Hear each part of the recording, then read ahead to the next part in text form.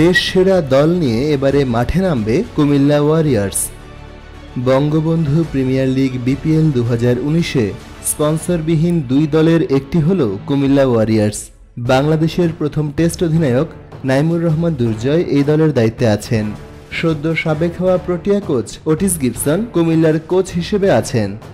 খেলোয়াড় নির্বাচনে কুমিল্লা ওয়ারিয়ার্সে দেশিদের ক্ষেত্রে তরুণরা বেশি সুযোগ পেয়েছেন, আর বিদেশিদের ক্ষেত্রে টি টোয়েন্টিতে অভিজ্ঞ ক্রিকেটাররা সুযোগ পেয়েছেন।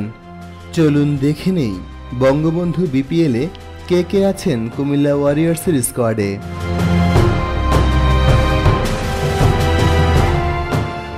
দেশি খেলোয়াড়দের মাঝে প্রথমেই আছেন বিশ্বসেরা সরকার সৌম্য সরকার, সাথে আরও আছেন আল আমিন হোসেন, ইয়াসির আলী লাখো তরুণীর ক্রাশ সাব্বির রহমান, সানজামুল ইসলাম, আবু হায়দার রনি, মাহিদুল অঙ্কন, সুমন খান এবং ফারদিন হোসেন অনি।